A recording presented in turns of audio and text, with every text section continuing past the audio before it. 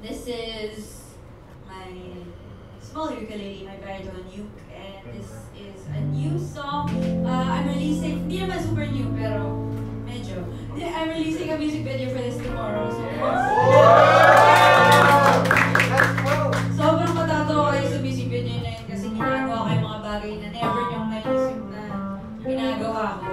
Kasi, The Chase, ano siya eh. Ewan ko kung nakita niyo yung teaser, pero naka, parang pang ano pang, pang athlete.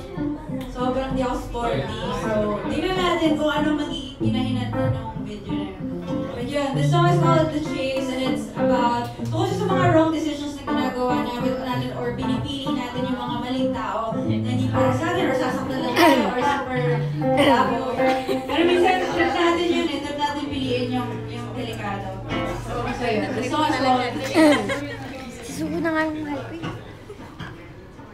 Let me tell you all about, all about this boy.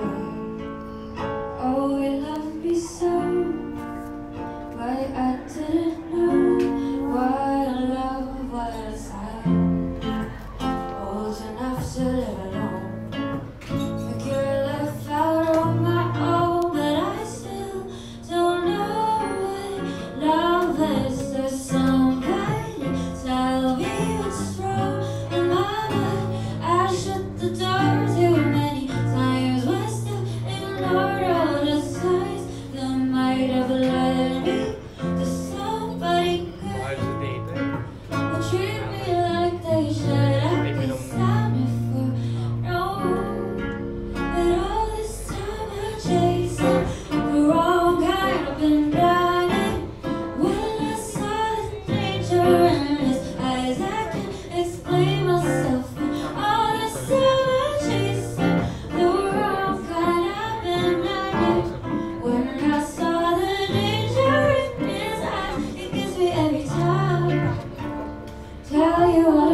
This